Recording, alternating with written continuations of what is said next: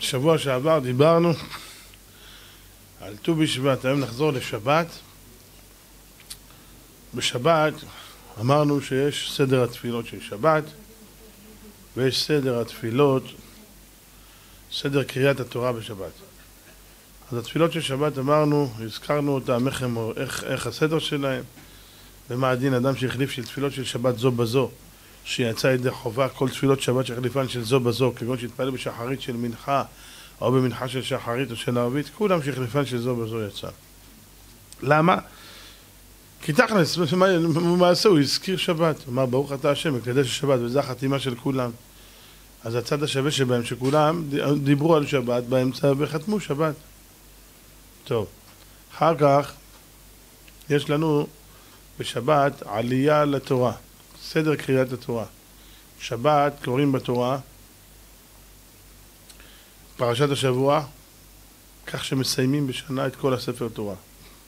פעם המנהג היה שהיו מסיימים את התורה פעם בשלוש שנים. אבל עכשיו המנהג, בכל מקום ששמענו שמעו, מסיימים את התורה בשנה אחת. כן? ואז בשבת אנחנו למעשה מוציאים ספר תורה וקוראים בו שבעה עולים. ויש גם עולה שמיני שזה המפטיר. בהוצאת הספר תורה אנחנו פותחים את ההיכל ובשעת פתיחת ההיכל אנחנו אומרים בריך שמח דמרי עלמא זה נוסח שמופיע בזוהר הקדוש זה נוסח חשוב מאוד שכל אחד צריך לומר אותו בשעת פתיחת ההיכל כן?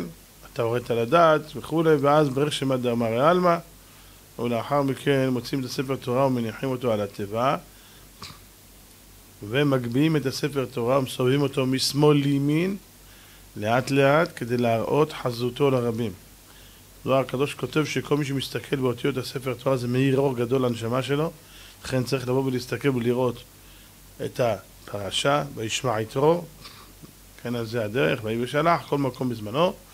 לאחר מכן מניחים את הספר התורה לתיבה ואז מתחילים בקריאת התורה.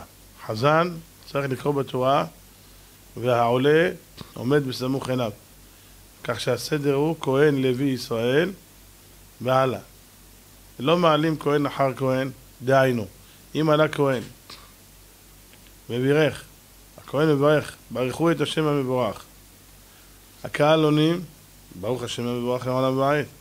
הכהן חוזר ואומר, ברוך השם המבורך לעולם ועד. למה הוא חוזר? כי הוא גם צריך לכלול את עצמו, לכלול עצמו עם הציבור. מה, אתה לא אומר שברוך השם המבורך? יש כאלה, לא עושים את זה. הציבור ענו, ישר מברך. למה אתה לא חוזר? חייב לחזור, ברוך השם המבורך לעולם ועד. אחר כך ברוך אתה השם, אלוקינו לכל עם אשר בא אחר רבנו מכל העמים, ונתן לנו את תורתו, ברוך אתה השם נותן לנו תורה. שעה שמברך צריך לאחוז עם המטפחת בשתי עמודי היריעות של הספר תורה. זו הלכה. מחזיק בשני היריעות, מסתכל קודם כל לפני כן, השליח ציבור מראה לו איפה קוראים, איפה תחילת הקריאה תהיה, מחזיק בשני העמודים, שני היריעות, לא בעץ של הספר, וביריעות עצמם, דהיינו בקלפים. סיימנו את הברכה, מוריד את היד מהיריעה השמאלית וממשיך להחזיק את היריעה הימנית במשך כל זמן הקריאה. זה דין. לאחר מכן קורא מילה במילה ביחד עם השליח ציבור. מי שעולה לתורה ולא מסתכל עם השליח ציבור בפנים ולא קורא איתו מילה במילה, הברכות שלו לבטלה. זה בעיה. אמנם זו מחלוקת, קרוב להיות ברכותיו לבטלה. מה?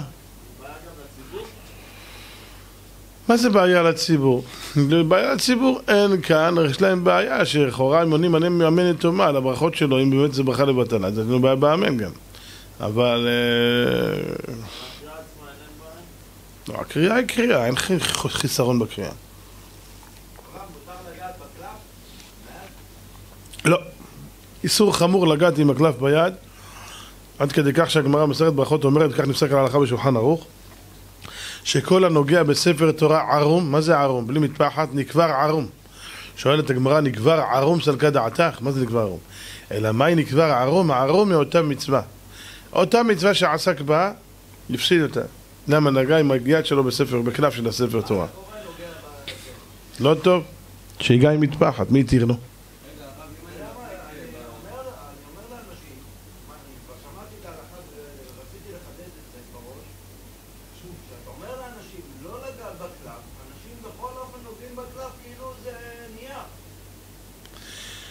מה אני אגיד לך?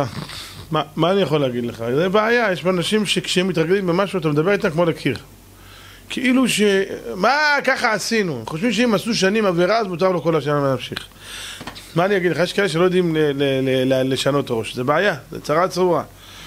גדל עקום נשאר עקום, מה? לא משנה. כתוב, לא כתוב, אסור לגעת.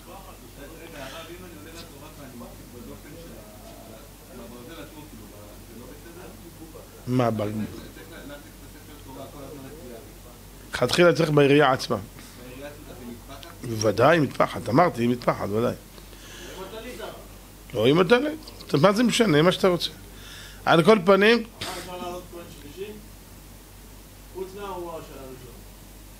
עוד שנייה נדבר בזה. אז עכשיו הכהן עלה, קרא ביחד עם החזן מילה במילה, סיים את הקריאה, אחרי שסיים לא יאמר אמת תורתנו הקדושה, יש כאלה אומרים אמת תורתנו הקדושה, מה אתה צריך להגיד אמת תורתנו הקדושה? אתה במילא, אומר הרב, אתה במילא עוד מעט אומר, ברוך אתה השם. כמוך אשר נתן לנו תורתו, תורת אמת, אמרת תורת אמת, מה אתה אומר תורתנו הקדושה עכשיו? אמנם הרב אומר שבדיעבד אין בזה הפסק, אבל לכתחילה לא להגיד, זה סתם תוספת. וחיי העולם נטע בתוכנו, ברוך אתה השם נותן התורה. זה הסדר של הכהן. אחריו יבוא לוי. אם אין לוי בבית הכנסת, לא מעלים כהן אחר כהן, משום פגמו של ראשון. מה אנשים יגידו? למה העלו כהן אחר כהן? כנראה הכהן הראשון דפוק, הוא חלל, הוא לא תדע מהו. לכן אסור. אותו כהן בעצמו עולה עוד פעם. לא מעלים כהן אחר כהן. אחרי שהכהן אכלה פעם שנייה, מעלים שלישי ישראל. מה קורה כשאין כהן בבית הכנסת? לזה קוראה הגמרא, כך נסתכל הרב שלמה ערוך, נתפרדה החבילה. מה זה נתפרדה החבילה? שוב, אין חיוב לעלות לוי עכשיו. לא? יעלה ישראל ראשון, יגיד אף על פי שיגידו, אין כאן כהן, יעמוד ישראל במקום כהן. לא, אסור לעלות לוי אחר ישראל. וגם לוי אחר לוי אסור לעלות. לא יגידו גם על לוי דפוק. גם לא טוב. לכן, יעלו ישראלים. עכשיו, לגבי השאלה אם מותר לעלות כהן שלישי או לא, אז הרב הביא שאלה כזאת לגבי לגבי יום כיפור, מנחה של כיפור, יש שם העולה השלישי במנחה של כיפור קורא מפטיר יונה, נכון? קודשו? לא יודע, אולי אתה מאשר, אם לא אני אגיד שלא. קוראים מפטיר יונה או לא, לא יודע. קוראים מפטיר יונה. עכשיו הכהן הזה רוצה לעלות שלישי, מפטיר יונה.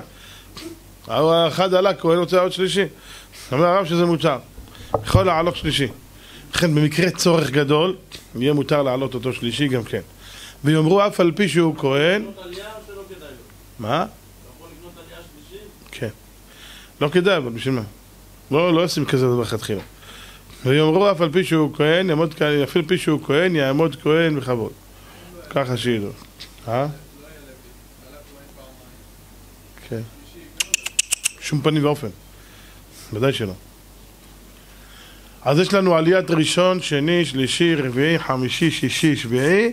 שביעי עולה אומר קדיש על הספר תורה. ולאחר מכן עולה מפטיר. מפטיר קורא את הקטע הקצר האחרון, והוא גם קורא את ההפטרה. הוא קורא את ההפטרה, יש לו בהפטרה סך הכל עם ברכות התורה שבע ברכות, כנגד כל שבעת העולים, כך הגמרא אומרת במסכת מגילה. שני ברכות שהם אשר בחר בנו מכל העמים ואשר נתן לנו, ראשונה ואחרונה, ועוד חמש ברכות שיש שמה, שתיים לפניה, לפני המפטיר, מה הוא קורא?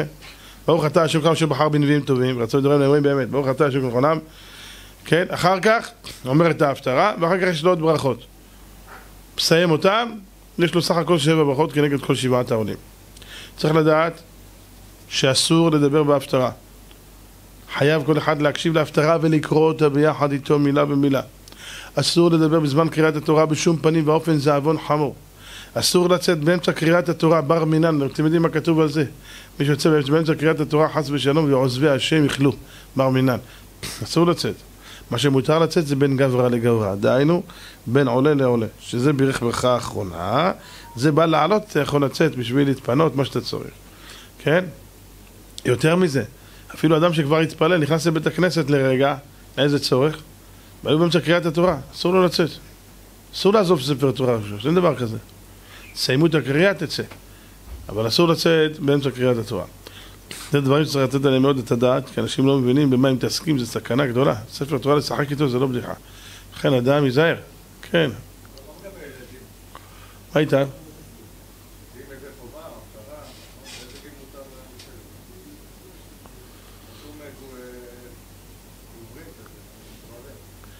לא, אז ככה, צריך לדעת שהכל עולים למניין שבעה, אפילו אישה ואפילו קטן.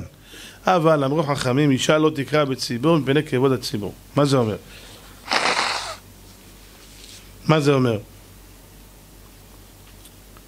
מה זה כבוד הציבור? אישה יכלה לעלות לתורה גם כן. למה לא עולה מפני כבוד הציבור? מה זה כבוד הציבור? אנשים יגידו, תראה איזה ציבור, כולם אהבלים פה. מפגרים. אף אחד לא יודע לעלות לתורה לקרוא עד שצריכים איזו אישה שתעלה. זה נקרא כבוד הציבור, זה ביזיון להם. אבל היום בימינו הרב כותב שאפילו אם קראו לה לעלות עולה. אבל היום בימינו אומר הרב, בגלל שהרפורמים עושים את זה, כל הפוסקים נעלו את זה, אין דבר כזה שאישה תעלה לתורה. אבל תדע שמן הדין יש דבר כזה. אז הכל עולים למניין שבעה, אפילו אישה ואפילו קטן. קטן עולה למניין שבעה. אפשר לעלות קטן לתורה בשבת, והוא עולה למניין שבעה. אמנם שהוא לא יקרא בתורה. לא ניתן לו לקרוא. מפטיר אפשר לתת לו לקרוא. לתת לו לקרוא בתורה זה בעיה, כי הוא צריך להוציא את הציבור. אז לא ייתן לו לקרוא, אבל לעלות לתורה הוא יכול. ממתי? מגיל חינוך. דהיינו שהוא בן שמונה, שבע, שמונה, שיש לו פיקח, כן? יכול לעלות לתורה בשבת למניין שבעה. אבל uh, בשבת זכור למשל, לא ניתן לו. דהיינו בקטע האחרון של ההפטיר וההפטרה, לא ייתן לו. ואפילו בזה הרב כותב בדיעבד שהעלה לא ירד. אז לכן, אם אנשים רוצים להעלות ילד קטן, בפרט כדי לחזק אותו ולחנך אותו, זה טוב, יעלו אותו מפטיר בשבת. יעלה מפטיר, יקרא, יקרא את הקריאה הקטנה הזאת, כן? ו... אבל העולה שיעלה, שיעלה בן אדם גדול. יברך בכדי שיוכל לחקור גם את ההפטרה אחר כך. הוא יברך את ההפטרה ויקרא את ההפטרה. טוב, בלי נדר שבוע הבא נדבר, יש הרבה מה לדבר בעניין דיני קריאת התורה, זה, זה חלק מסועף.